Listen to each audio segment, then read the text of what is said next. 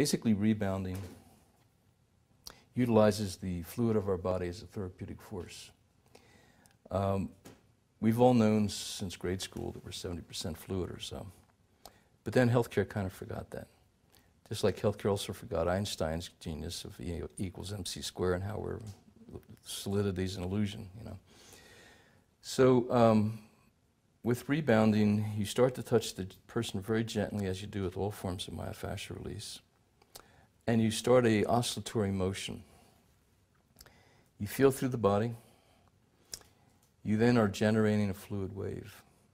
Now, the art of this is you have to initiate the motion into the patient. But as you build a momentum fluidity, uh, you start to tune into their rhythm. So the art is to tune, in, tune into their rhythm so you do not, they do not have to go into uh, defense.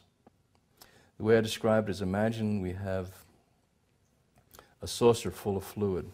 The rim of the saucer would represent the mental protection.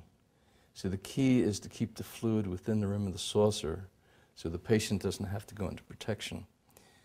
And it, you know, our protective responses are so powerful that this acts like a stealth fighter. It feels so good that all of a sudden you're beyond, beyond all the defenses, you're into something very deep that had not been accessed by anything else in the most gentle and, and safe way.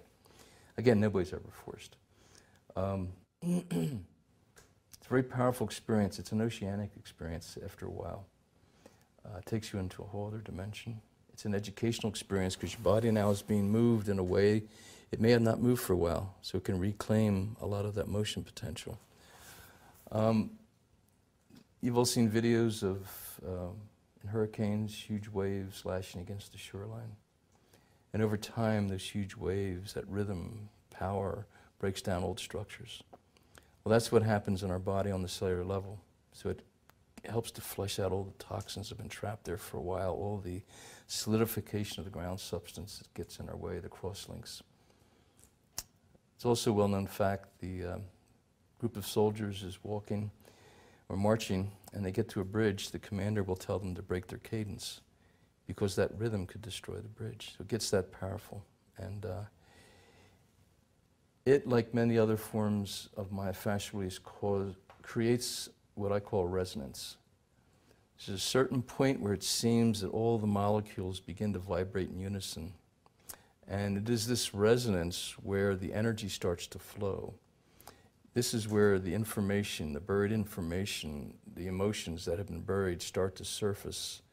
Uh, this is what helps to rehydrate that which has become solidified from trauma and inflammation. So resonance is really what we're after, whether it's structural MFR, unwinding, rebounding. They all come at a different way for it.